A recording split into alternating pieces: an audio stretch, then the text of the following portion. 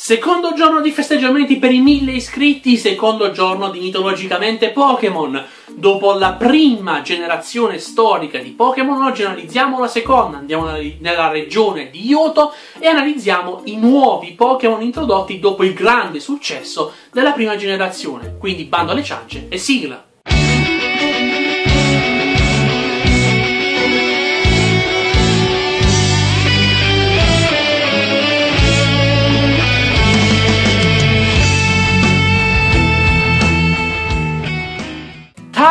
Typhlosion, ultimo stadio evolutivo di Cyndaquil. Parliamo anche qui di uno starter di fuoco, che già vi anticipo in ogni generazione sarà lo starter di fuoco da avere origini mitologiche. In realtà non avrebbe vere e proprie origini mitologiche, solo che c'è una strana combinazione di eventi per il suo nome. Infatti Typhlosion sarebbe ispirato all'animale esistente Echidna, una specie di istrice, ma si chiama tipo tifone, e nella mitologia greca Tifone ed Echidna erano il padre e la madre di tutti quanti i mostri. Passiamo da Pokémon 157 al 166, ovvero Ledian, per le cui caratteristiche fisiche ci si è ispirati agli alieni grigi, anche perché questo Pokémon trae forza dalla luce delle stelle e della luna. Pokémon 171 Lanturn ha le sembianze di un delfino che porta la luce perché dovrebbe essere una rappresentazione del dio Apollo. Infatti, l'animale simbolo di Apollo tra gli altri era comunque il delfino. Pokémon 176 Togetic, evoluzione di Togepi, potrebbe ricordare una figura angelica oppure più comunemente una fata. Pokémon 178 Xato, evoluzione di Nato, è questo Pokémon uccello che potrebbe ricordare i classici totem dei nativi americani combinati anche ad una credenza riguardo alla meditazione che dice se, rimane, se si rimane per tanto tempo fermi in meditazione si riesce anche a guardare indietro e avanti nel tempo, un po' come Faxatu. Pokémon 179 Marip potrebbe ricordare Crisomallo, ovvero la pecora che poi produsse il vello d'oro cercato da Giasone e Argonauti. Aipom e la sua evoluzione, Ambipom invece sono basati su una creatura del folklore azteco chiamata Ahuitzotl, che sarebbe un essere dotato sì di due mani prensili come noi esseri umani, ma di un'altra mano, una terza mano aggiuntiva sulla punta della sua coda.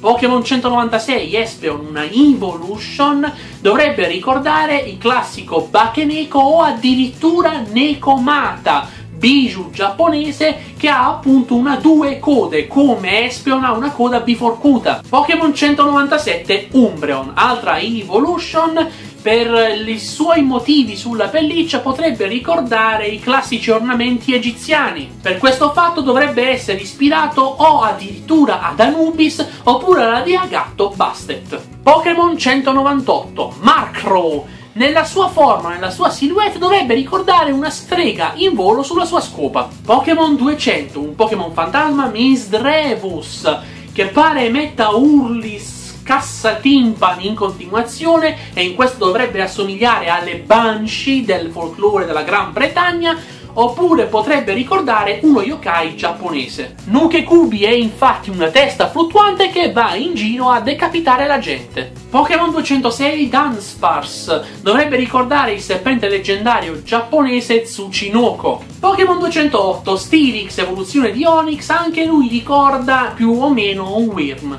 Pokémon 215 Sneasel. Questo Pokémon, visto che è dotato di lame affilate, come artigli in pratica, ha le sue origini molto probabilmente nella figura di yokai chiamato Kamaitachi, una specie di donnola spirito giapponese che riesce con il suo vento a tagliare qualsiasi cosa incontra sulla sua strada. Pokémon 218 e 219 Slugma e Maccargo dovrebbero ricordare la creatura cinena chiamata Kerufe, una creatura malvagia che si nutre di magma e vive nei vulcani appunto in Cile. Pokémon 225 Delibird è Babbo Natale, si vede. 227 Pokémon di nome Skarmory potrebbe essere ispirati all'alicanto, un uccello sempre della mitologia cilena che si nutre di oro e di argento, ma anche dalla, potrebbe essere ispirato dalla mitologia greca, ovvero dagli uccelli della palude stinfalo. Pokémon 228 e 229 Houndour e Houndoom, la sua evoluzione sono ovviamente ispirati a tutti i segugi infernali che riuscite a trovare nelle varie mitologie come Cerbero, Garmer nella mitologia norrena, eccetera, eccetera. Kindra, evoluzione di Sidra aggiunta in questa generazione, non ha proprio un'origine mitologica, è un Pokémon drago, ma non assomiglia molto a un drago, più a un ippocampo, però ha la capacità di creare potenti vortici e per questo potrebbe essere assimilabile alla figura di Cariddi. 238 Smoochum, pre-evoluzione di Jinx, non è ispirata a uno spettro alla Yukion, bensì al Kintaro, una figura sovrannaturale di bambino dalla forza sovraumana. Passiamo ai Pokémon leggendari di questa generazione. Raikou, la bestia leggendaria del fulmine, dovrebbe essere anch'essa ispirata a Raiju, il bigio delle sei code. Pokémon 244 Entei, la bestia leggendaria cane di fuoco, è ispirato anche lui allo Shinshi, al prototipo di cane leone da guardia a cui è ispirato anche Growlite e Arcanine. Pokémon 245, l'ultimo del trio delle bestie leggendarie, Suicune, per la sua abilità di purificare le acque, dovrebbe ricordare l'omologa abilità che hanno gli unicorni. 248, un Pokémon che adoro, Tiranitar, ultimo stadio evolutivo di Larvitar, dovrebbe ricordare non una creatura diciamo proprio leggendaria nel vero senso del termine, ma il kaiju più famoso di tutti, Godzilla. Pokémon 249, il leggendario Lugia. Lugia è ispirato palesemente a Ryujin, il drago marino che costantemente viveva nei fondali marini e che era il signore di tutti gli oceani nella mitologia cinese e giapponese. Ultimo Pokémon con origini mitologiche in questa generazione è il leggendario uccello Ho-Ho, che come dice anche il suo nome è stato il semplice riportare all'interno del mondo Pokémon l'omonima fenice orientale, che non è uguale a quella occidentale, ovvero persiana, anzi, che risorge dalle proprie ceneri, ma questo uccello dalle strane sembianze multi-animali comprende multicolori color dell'arcobaleno. Bene, e con questo anche la seconda generazione si chiude. Questa è l'origine mitologica